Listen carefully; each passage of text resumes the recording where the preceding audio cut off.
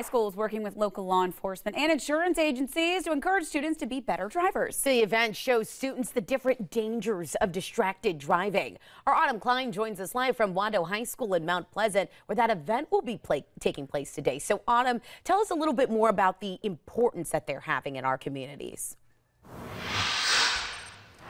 Shelby, Katie, car accidents continue to be the leading cause of death among teens across the country. I actually spoke to a Mount Pleasant police officer who said that they very often see teens involved in accidents here in the town as well. The Southeastern chapter of the National Safety Council, as well as Mount Pleasant police and insurance representatives, will be at Wando today to teach students safer driving habits. As a part of this hands-on experience, students will get to drive behind the wheel of a simulator that mimics distracted or impaired driving.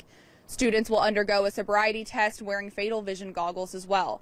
They'll try to navigate an obstacle course behind the wheel of a golf cart with these goggles.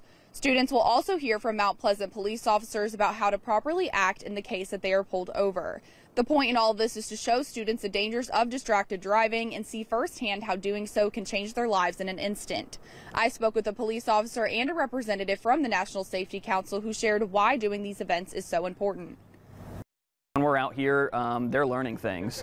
Um, we're showing them today how a traffic stop would appear, but they're learning things when we're talking about, you know, going the posted speed limit, how a different speed can totally change the outcome of a collision, um, following the traffic control devices, why they're there, the timing about them. So I feel like these kind of things, when we're getting them beforehand, before they're involved in a crash or before they're stopped by the police, they can learn beforehand so there's no after effects.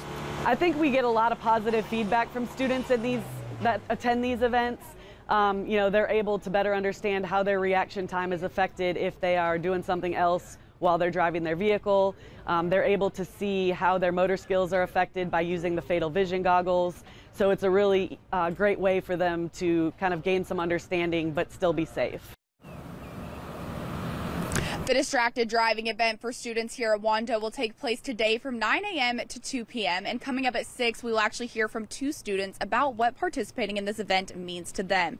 Live in Mount Pleasant, Autumn Klein, Live 5 News.